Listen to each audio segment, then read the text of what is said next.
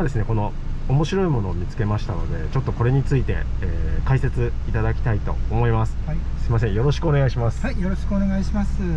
あの今回の支援とですねあの天井サーキュレーターというものをあの設定いたしました。でサーキュレーターというのはこの真ん中から空気を吸い込みましてこの両サイドのこの隙間から空気を送り出すものになってます、はい、でこのここにフラップがごっついておりましてこう立てた状態ですと3列目まで、まあ、寝かせると、まあ、2列目の方にですね気持ちのいい風が当たるというようなものになっております、はい、でこれなぜこういったものを設定したかというと例えば3列ミニバンとかですとノアとかですとあのデュアルエアコンといってエアコンが2つついてたりするんですけれどもやはりあのデュアルエアコンにすると、まあ、価格的にもちょっと上がってしまいますし、まあ、燃費もちょっと悪化してしまいます、でまあ、僕らの車のサイズでしたら、まあ、こういったものがないとですね例えば1列目は寒いのに3列目がまだ暖かいみたいな状況になる中でなるべく空間の温度ムラをなくしていくと。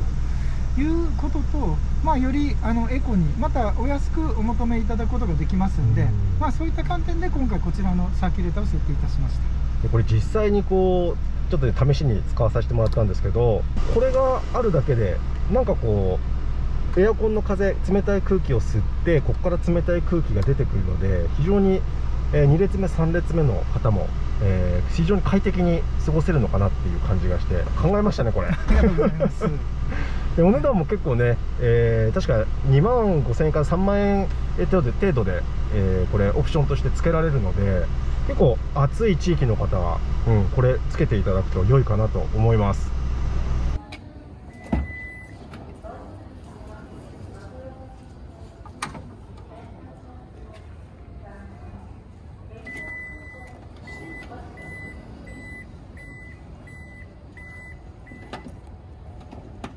フロントドアのアウトサイドハンドルのセンターのところをキックしていただきますなぜここの位置にあるかと言いますとハンズフリースライドドアを使う時には両手に荷物を持っている犬を抱っこしている赤ちゃんを抱っこしているということございます。スライドドアはせり出してくるものですからリアドアのとこにセンサーを置きますと当然正座してきて両手が塞がって危ないということでフロントドアのアウトサイドハンドルの下のをこう切って安全のためにこういう位置に設置しております。